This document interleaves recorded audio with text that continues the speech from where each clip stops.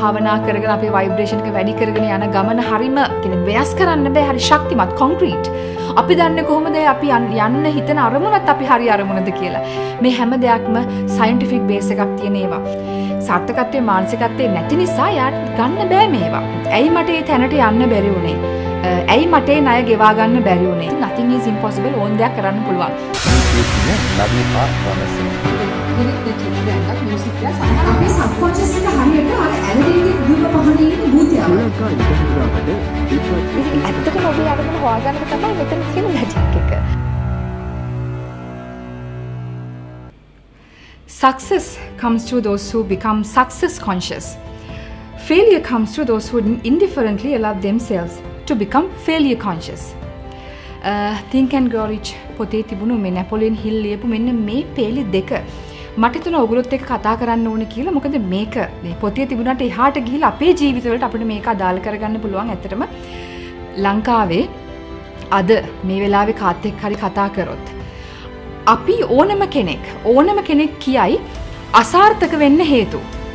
ඇයි මට මේක අසාර්ථක වුණේ ඇයි මට ඒක කරන්න බැරි වුණේ ඇයි මට ඒ තැනට යන්න බැරි වුණේ ඇයි මටේ ණය ගෙවාගන්න බැරි වුණේ ඇයි මාව අසාර්ථක වුණේ කියලා ඇහුවොත් ඕන තරම් හේතු කියයි. ඒවට හරි අපි හරි දක්ෂයි අසාර්ථකත්වයට හේතු කියන්නේ. ඒ කියන්නේ මොකද්ද? අපි අසාර්ථක වෙන්නේ කියන්නේ මේ ෆේලියර් කියන එක අසාර්ථකත්වය කියන එක තුල අපිට හොඳට තර්ක කරන්න පුළුවන් කතා කරන්න පුළුවන් හරි නිර්මාණශීලී අපි අසාර්ථකත්වයේ ඉස්සරහා ඒ නිසාම තමයි අපේ සමාජයේ ගොඩාක් දෙනෙක් මේ සාර්ථක සාර්ථකත්වය කියනක නිකං හරි හරි ගේම් එකක් කපටි වෙන්න ඕනි සාර්ථක වෙන්න. වගේ හරි මිස්කන්සෙප්ෂන්ස් තින මේ සක්සස් කියනකට අපේ අපේ සමාජයේ. ඉතිං විශේෂම මගේ මංගලට උදාහරණයක් කියන්න. එකන අපි අපි විතරක් නෙමේ අපි වෙනකාගෙන් හරි ඇහුවත් එහෙමයි. දැන් මට මේ YouTube චැනලක පටන්ගන්න කලින් දැන් මීට අවුරුද්ධකට එහාන මේක පටන්ගත්තේ එතකොට මම මේ අවුරුදු දෙකක් විතර වෙනවා මේක පටන් ගන්න. එතකොට ඔබ දන්නා මම වෘත්තියෙන් නීතිඥවරියක් වෙලා තමයි. නීතිඥවරියක්. ඉතින් එතකොට නීතිඥවරියක් වෙලා ඉන්න කාලේ මම මේ වෙනම එකක් පටන් ගන්න යද්දි මේ මනෝවිද්‍යාව ගැන, law of attraction ගැන මම අවුරුදු 20ක් තිස්සේ ඉගෙනගත්තු දේවල්, අත්දැකපු දේවල් ඕගොල්ලන්ට කියන්න යනකොට ගොඩක් දෙනෙක් මට කියපු කතාවක් තමයි ඌ හරියන්නේ නැහැ. ඕක හරියන්න ඒගොලන්ට ගොඩාක් හේතු තිබ හරියන්න නෑ කියල කියන්න සාධාරණ හේතු එක ඒගොලන්ගේ පැත්තෙන් ගත්තොත් සාධාරණ හේතු තිබ මොනාද හේතු? තිගොල කියන ලංකාවේ අයට මේවා කිව්වට ඒගොලට තේරෙන්නේ ඒගොල්ලෝ ආව විහිළුවක් කරගනි. එහෙම නැත්තම් ඒගොල්ලන්ට මේ සාර්ථකත්වය කියන එක ඒගොල්ලන් ලොකුවට කැමති නෑ මේ පැත්තට. ඒගොල්ලන් සල්ලි හොයන්න ආස නෑ ඒගොල්ලෝ කම්මැලි. ඒවගේම මේ ලංකාවයායට මීට වඩා පොඩ්ඩක් එක කොමඩි මොනහරි කරන්න ඕනි හිටවෙන්නම් එක ඕපදූප කරන්න ඕනි හිටවෙන නම් හෙමත්තන් දේශපාලනය. ඉති මේ තුරින් මොකක් හරි එකක් කරොත් තමයි වා හිටවෙන්නේ කරන්ට ෆෑස් කතා කරන්න ඕනි. එතකොට තමයි යොගලා වාට වියස් වැඩි වෙන්න. ඕවා කිව්වා කියලා ඔයා වාඩි වෙලා හරියන්නේ නෑ අපරාධ කියලා. මොකද අපි දන්න YouTube චැනල එකකුණත් පටන් අරගෙන පළවෙනි වීඩියක දැම්මොත් වීස් දහයයි පහලවයි ඉළඟට තිහයි සීයයි දෙසීයයි. ඇති එදවසල වීස් සීයක් ආව කියන්න ඉති ලොකු ජයග්‍රහණයක්. ඇයි මොකද අලුත්ම කෙනෙක් මිට කලින් මම මේ ශේත්‍රයේ ඉඳලා නැහැ. අලුත්ම කෙනෙක් ඇවිල්ලා කවදාවත් නොදැකපු කෙනෙක් ඇවිල්ලා මේක කතා කරන්න ඇත්තරම අලුත් දෙයක්. ඉතින් හැබැයි මට යම්කිසි වාසනාවකට මට අර ෆෙලිය කොන්ශස්නස් තිබුණ නෑ. ඒ ඇනේ මට හිතුන් නෑ මේක අසාර්ථක වෙයි කියලා මට හිතුනේ. මේ අපි මේක කරමු. ඉතින් අසාර්ථක වෙයිද නැද්ද කියලා බලන්න. මේක කරලා බලන්න එපයි ඒ මානසිකත්වය තිබ්බ නිසා ඉතින් අද වෙනකොට YouTube channel එක වටා පිරිසක් එකතු වෙලා ඉන්නවා. මාව ස්ටැබ්ලිෂ් වෙලා තියෙනවා ලයිෆ් කෝච් කෙනෙක් විදිහට සහ මේ ඔගලන්ගේ ජීවිතය වෙනස් කරන්න පුළුවන්.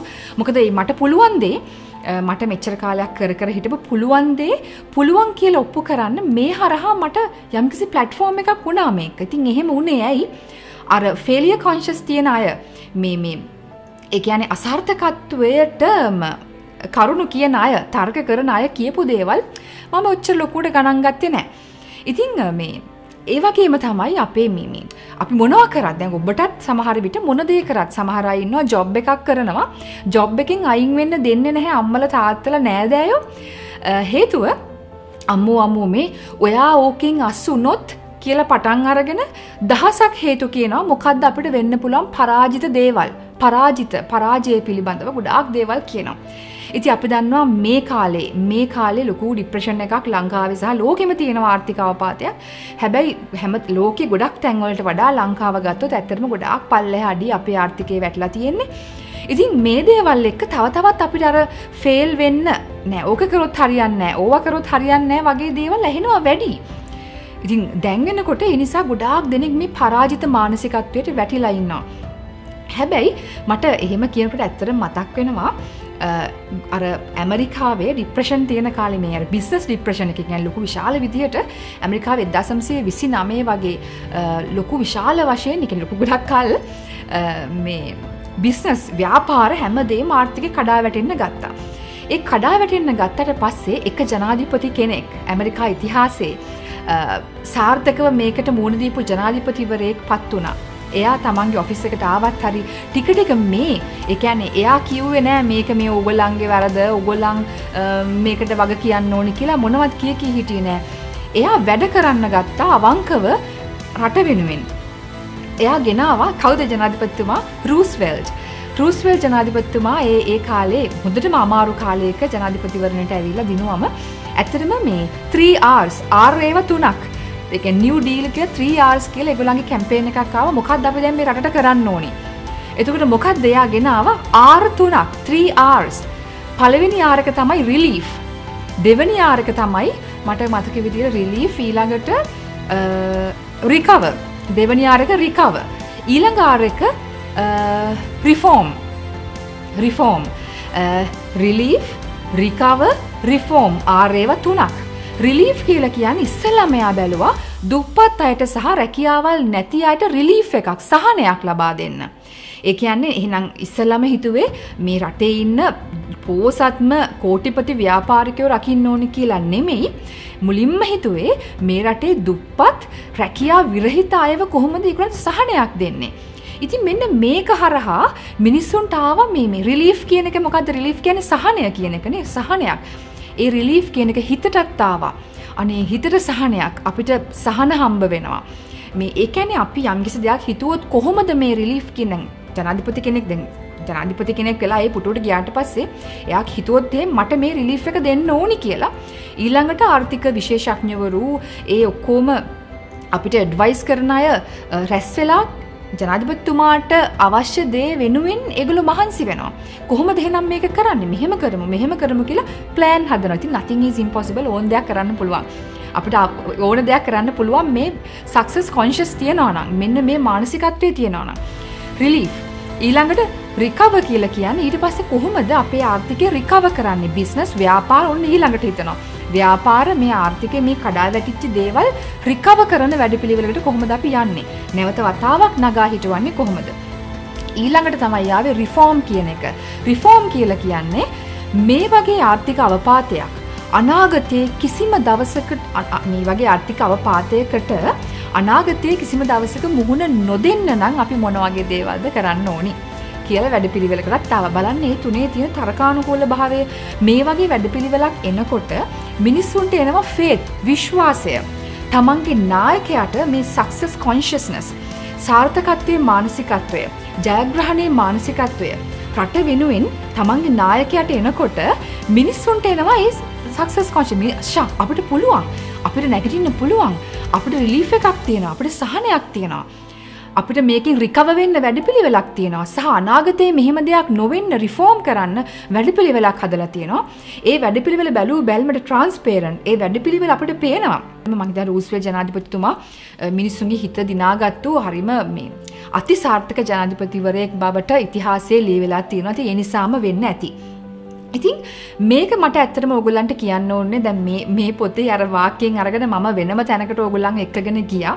හැබැයි මට දැන් කියන්න ඕනි උනේ ඇත්තටම මේ දැන් ඔගලන්ට පේනවා නේද මේ ෆේත් කියන එක මේ සක්සස් කොන්ශස් කියන එක මේ සාර්ථකත්වය මානසිකත්වය කියන එක කොයිතරම් ප්‍රබලයිද කියන එක. ඒකම තමයි අපේ පෞද්ගලික ජීවිතයේ පෞද්ගලික අරමුණු මුදුන් පමනවා ගැනීමට ඕනම දෙයක් සල්ලි සාර්ථකත්වය සෞභාග්‍ය ආදරය අපේ පවුල් ජීවිතය අපේ ව්‍යාපාරවල සාර්ථකත්වය මේ හැම දේකටම මේ සාර්ථකත්වය මානසිකත්වය සක්සස් කොන්ශස්නස් කියන එක හරිම වැදගත් දෙයක්.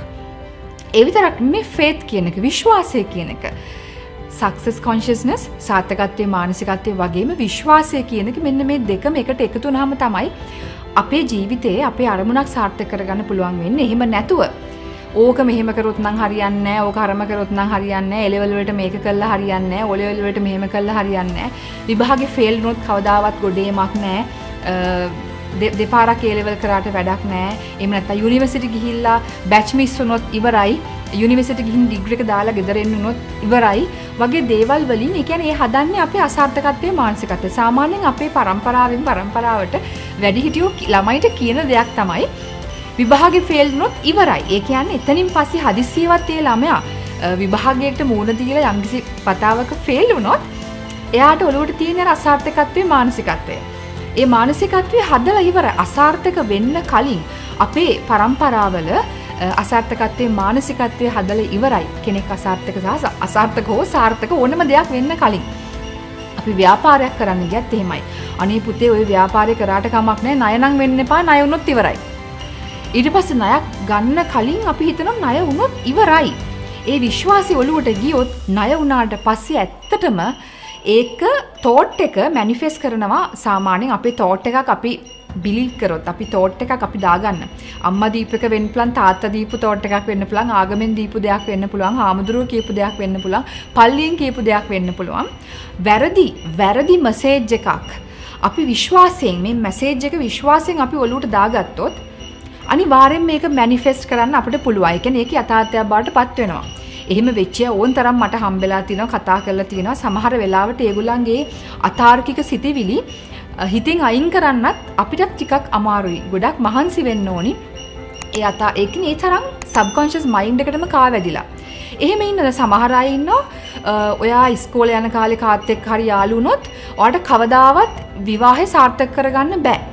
ඉති හදිසියවත් ඒලම අවුරුත් දහ නමේදී වගේ වගේ කාලයක ආදරයක් ඇති වෙලා තිබුණොත් අරක ඔලුවට ගිහින් තියෙන්නේ. ඉතින් ඇත්තටම සමහරට ගැළපෙනම දෙන්නෙක් වුණත් විවාහය අසාර්ථක වෙන්න අර වගේ පුංචි අසාර්ථකත්වයෙන් මානසිකත්වයෙන් බලපාන පුළුවන්. ඒ නිසා ඔබ වැඩිහිටියෙක් නම් දෙමව්පියෙක් නම් ගුරුවරයෙක් නම් අනිවාර්යයෙන්ම මේවා මේ දැනුම ඕගොල්ලන් උකහා ගන්න මුලින්ම දරුවන්ට මේ අසාර්ථකත්වයේ මානසිකත්වය දෙන්න එපා. මෙහෙම වුණොත් ඉවරයි මෙහෙම වුණොත් ඉවරයි කියන මානසිකත්වය දෙන්න එපා.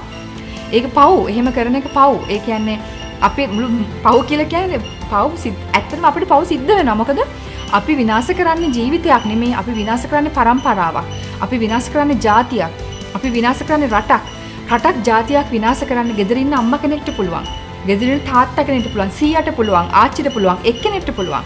මොකද එක එක ගෑනු දරුවෙක්ගේ ඔළුව කෑවොත් ඒ ගෑන් ළමයා අම්මා කෙනෙක් වෙනවා. කසාද බදිනවා. අම්මා කෙනෙක් වෙලා දරුවෝ හදනවා. ඒ අම්මගේ මානසිකත්වය නිසා තමන්ගේ හස්බන්ට හස්බන්ගේ ව්‍යාපාරවලට දරුවන්ට දරුවන්ගේ අනාගතයට බලපානවා ඒ දරුවන්ගේ මානසිකත්වයට බලපානවා.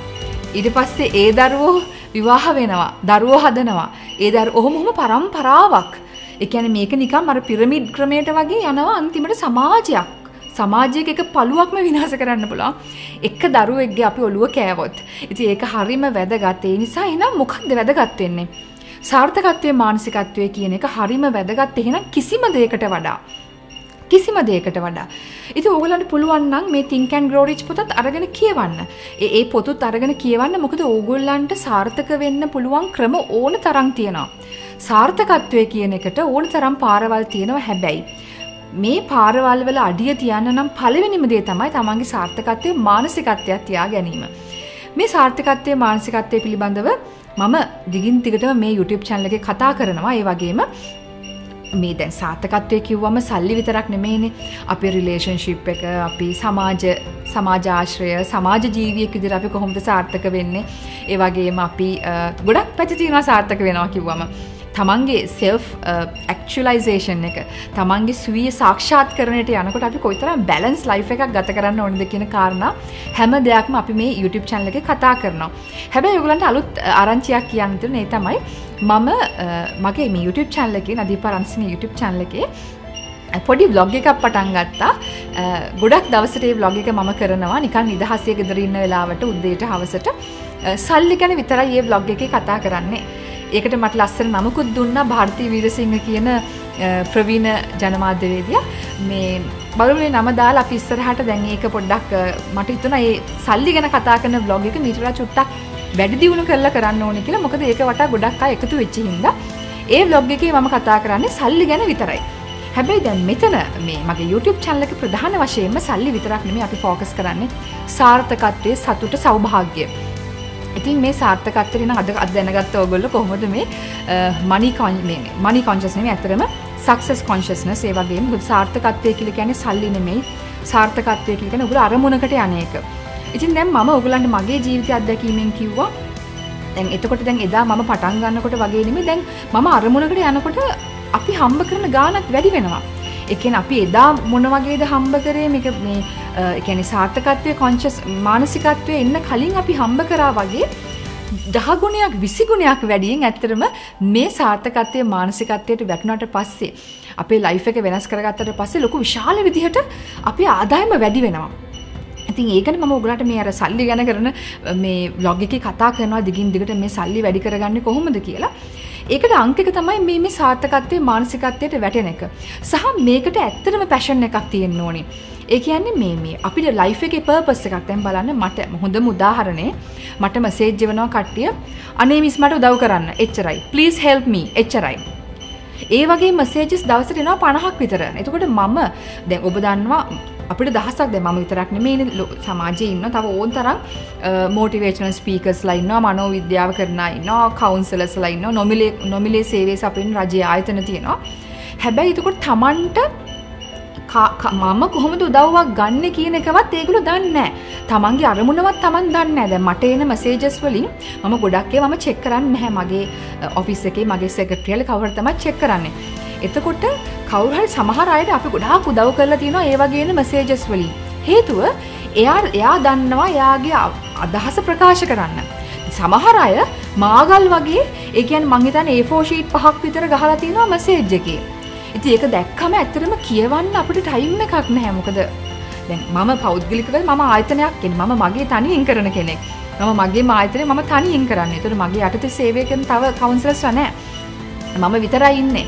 එතන මම බිරිඳක් මම මවක් මම ගෙදර වැඩ කරනවා මගේ තව ආදායම් මාර්ග තියෙන ඒවට යොමු වෙනවා දරුවන්ගේ ඉගෙනීම් වැඩ කටයුතු කරනවා එතකොට අරයට දැන් මේ මැසේජ් එක එවන කෙනාට තේරෙන්නේ නැහැ මාව අවබෝධ කරගන්න ඒ කියන්නේ මේ නදීපට කොච්චර වැඩ ඇද්ද ඉතින් එතකොට බලන්න ඒගොල්ලන්ට උත්තරයක් හම්බ වෙනවද? ඇයි මට බලන්න වෙලාවක් නැත්තම් මට උත්තරයක් ලියන්න වෙලාවක් නැහැ. හැබැයි ඕන තරම් මම උත්තර ලියලක් තියෙනවා. ඕන තරම් මං හිතන්නේ මෙතන ඇති. එහෙම මගෙන් ඕන තරම් නොමිලේ සේවය ගත්තු අය කතා කරපය මැසේජ් කරපය ඕන් තරම් ඇති. ඒ කියන්නේ ඒ පිරිසට පුළුවන් වෙලා තියෙනවා තමන්ට අවශ්‍ය දේ කරගැනීමේ දක්ෂකම. ඒ කියන්නේ කෙටියෙන් මේක ලියලා මට මෙන්න මෙහෙම කොහොමද මම මේක කරන්නේ වගේ දෙයක් අහන්න. පොඩි කෙටියෙන් මේ ලොජික් සිංහලනේ සිංහලෙන් ටයිප් කරන්න පුළුවන් අපි සිංහල රටේ සිංහල භාෂාවෙන් කතා කරන්නේ.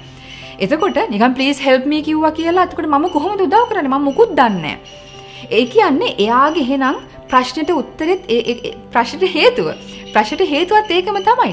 ඒ කියන්නේ එයාට ගෙදර ස්වාමි පුරුෂයා වෙන්න පුළුවන් නැන්දම්මා වෙන්න පුළුවන් කාත් එක්කවත් කමියුනිකේෂන් තේරෙන්නේ නැහැ. කමියුනිකේට් කරගන්න තේරෙන්නේ නැහැ. Tamanට අවශ්‍ය දේ උදව්ව ගන්න තේරෙන්නේ නැහැ. ඒ නොතේරෙන කම නිසාම තමයි ඒගොල්ලෝ වැටෙන්නේ.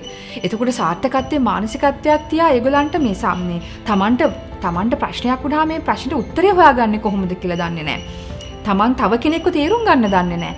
එතකොට මේ අපි ලංකාවේ බහුතරයක් මට පේන විදිහට හැමෝම හරි අසාර්ථක වෙන්න අසාර්ථක වෙන්නම තමයි ඉපදිලා තියෙන්නේ.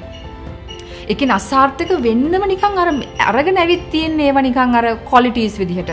හැබැයි අද ඉඳලා ඔයගලන්ට පුළුවන් මේ අසාර්ථක වෙන්නම ඔයගලන්ගේ ක්වොලිටිස් තියෙනවා නම් ඒවා රීප්‍රෝග්‍රෑම් කරගන්න. රිවයර් කරගන්න ඔයගලන්ගේ බ්‍රේන් එක.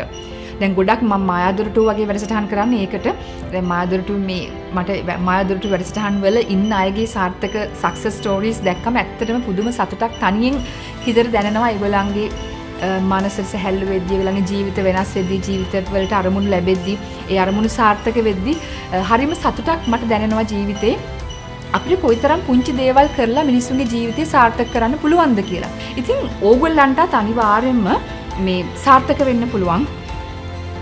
අනිවාර්ය අරමුණක් තියෙන්න ඕනි. අසාර්ථක වෙයි කියලා වටේ මය ඕගොල්ලන්ට කියයි. ඒව ටික පොඩ්ඩක් බැහැර කරලා ඔබට හිතන්න ඔබ මේ දේ කොච්චර දුරට ඔබට මේ ගැන ක්ලියර් පික්චර් එකක් තියනවද?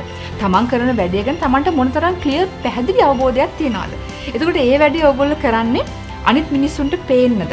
එහෙම නැත්තම් තව කෙනෙක් කරනවා දැකලා එයාට ඒක සාර්ථක වෙච්ච නිසා මටත් සාර්ථක වෙයි කියලා හිතලාද? එහෙනම් ඒක හරියන්නේ නැහැ. ඔබ තුල කොච්චර ඇත්තට මේකට ප්‍රතිභාවක් තියනවද? ඔබ තුල කොච්චර ඒකට අවංක උමනාවක් තියනවද? නෑ මට මේක කරන්න පුළුවන්. කවුරු මොනවා කිව්වත් මට මේක කරන්න පුළුවන්. රටේ ආර්ථිකය මොනතරම් පල්ලෙහාට වැටුණත්, රටේ දේශපාලනය කොච්චර අස්ථාවර වුණත් මට මේක කරන්න පුළුවන් කියන විශ්වාසය ඔබ තුළ තියෙනවද? අන්නේ පළවෙනි විශ්වාසයෙන් පස්සේ පළවෙනි පියවර තියෙනක තමයි සාර්ථකත්වයේ ඊළඟ එක. ඒ කියන්නේ ගොඩාක් අය ප්ලෑන් කර කර ඉන්නවා කරන්නේ නැහැනේ. දැන් මම ගොඩක් දෙනෙක් දැකපු එක තමයි මම අර මේ කියන්නේ ගොඩාක් අයට තියෙන ප්‍රශ්නේ ඇත්තටම ප්ලෑන් කරනවා. ප්ලෑනින් කරන උන් තරම් ඉන්නවා. හැබැයි පළවෙනි පියවර තියන්න පුළුවන් ආත්ම ශක්තියක් තියෙන හරීම අඩුයි සමාජයේ. ඒ කියන්නේ අපි වෙනස් දෙයක් කරනවා නම් දැන් මට වුණත් මේ ලෝ ෆෙටරක්ෂන් මේ දේව කතා කරද්දි මේ ඇත්තරම එකනේ කමෙන්ට් කරන ඉන්න ඕන තරම් මට බැනල කමෙන්ට් කරන ඉන්නවා. විවිධ වර්ගය ඉන්නවා.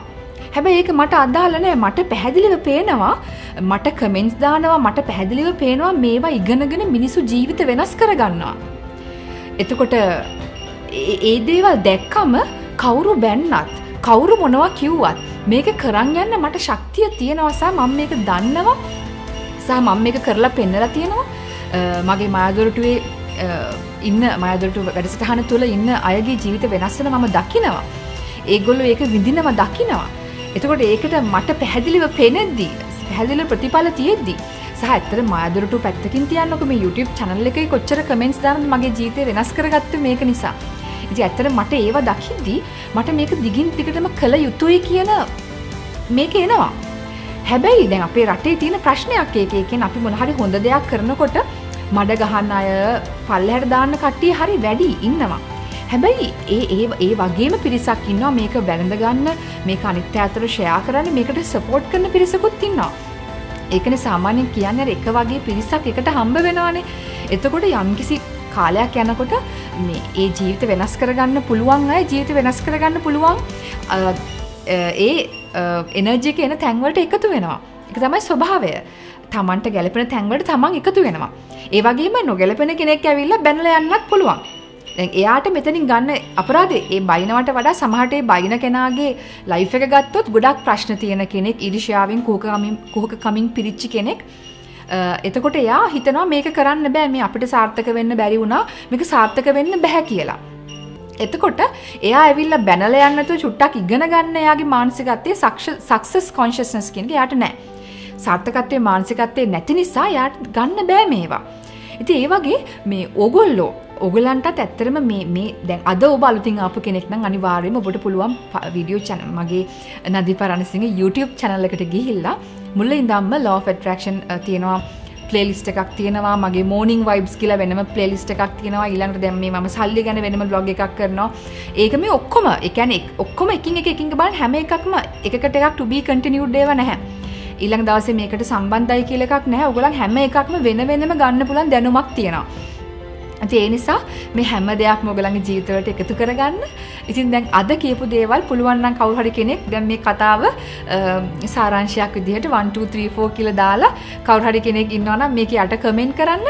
ඒ වගේම ඕගොල්ලන් කවුරු කෙනෙක් ඕගොල්ලන් ඒ කියන්නේ ඕනම කෙනෙක් ඕනම කෙනෙක් මගේ YouTube channel එකේ ජීවිතයට මොනවද එකතු කරගත්තේ.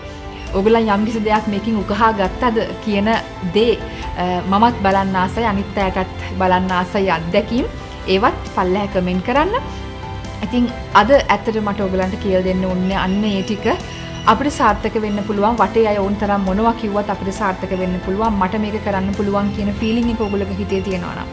ඇත්තටම මමත් ඒක කරපු කෙනෙක්. ඒකයි කිය මම ගොඩක් ජීවිතේ හැම තැනම සාර්ථක වෙච්ච කෙනෙක් මේ සබ්ජෙක්ට්ස් අපිට ඉස්කෝලේ උගන්වන්නේ නැහැ විශ්වවිද්‍යාල උගන්නන්නේ ජීවිතය දියුණු වෙන්න කොහොමද මානසිකත්තේ සයිකෝලජි වගේ දේවල් අපිට උගන්වන්නේ ඉතින් ගොඩක් ලංකාවේ හිතන මේ සයිකෝලජි මනෝ විද්‍යාව පිළිබඳව උගන්වලා වැඩක් නැහැ කියලා. එහෙම නැහැ. මේ හැම දෙයක් මම මේ කියන හැම දෙයක්ම සයිකෝලජි එකක් එක්ක එන්නේ සයින්ස් සයින්ටිෆික් බේස් එකක් තියෙනවා මේ හැම දෙයකම.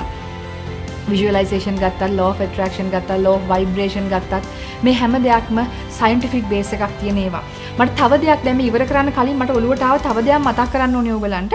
මට සමහරක් අය මේ මසේජ් කරනවා මේ නිකලා ටෙස්ලාගේ මේ තුන හය නමේ 369 ටෙක්නික එක අපට කියලා දෙන්න. මේ මේ ටෙක්නික එක කියල් දෙන මේ ටෙක්නික එක කියල් දෙන ගලට ඉක්මටම ෂෝට් කට එකක් දාලා ඒගොල්ලෝ හිතනවා ටක්ගල ෂෝට් කට් එකකින් ඔන්න අපට සල්ලිනෑ මොක් කන මේක සාර්ථ කරගන්න මේක දැමුත් මේක සාර්ථක වේ කියලා. මතක තියාගන්න සාර්ථකත්වයට ෂෝට් කට්ස් නෑ. සාර්ථකත්වයට ෂෝට් කට්ස් නෑ. ම උගොල්ලන්ට ඒ ටෙක්නික්ස් මුකුත්ම අදට අදටවත් මහිතන්න මේ මගේ මායා දුරටුවේවත් මායා දොරටුවේවත් ඒ ටෙක්නිස් නෙමේ වෙනම ටිකක් කතා කරන්නේ. ඒ නිසාම මගේ මාදොරටුව අය වෙනම විදිහකට ජීවිත ඉතාම ඒ ඇනේ සෞභාග්‍ය සතුට සැනසීම එක්ක ඒගුලන්ගේ ජීවිතය සාර්ථක කරගන්නවා. අර පොඩි පොඩි ටෙක්නික්ස් කළ ෂෝට් කට්ස් නෙමෙයි.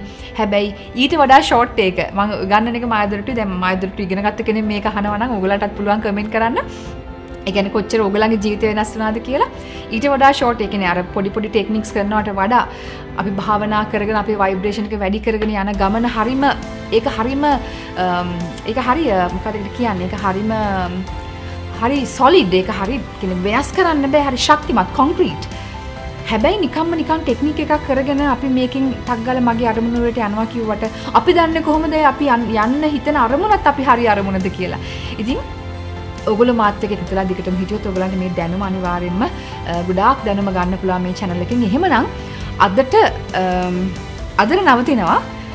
හෙට ඉඳලා ඔගලන්ට මගේ මනියන් හාමනී මගේ බ්ලොග් එකත් එක එකතු වෙන්න පුළුවන්. දිගටම රැඳලා ඉන්න. ඒ වගේම දැනුම අනිත් ඇත්තක ෂයා කරන්නත්. ඔබ ඔබ මගේ චැනලකට කරන ප්‍රතිපකාරයක් විදිහට සබස්ක්‍රයිබ් කරන්නත් බෙල් අයිකන එක කලික් කරන්නත් මතක තියාගන්න. එහෙමන ඉක්මටම හමු හමුහෙමු ඉක්මට මුණග හෙමු තවත් මේ වගේම දැනු අරගෙන එන්න ජීවිතය සාර්ථකත්වය උගන්නන වීඩිය එකක් එක්ක. අයිබෝවන්.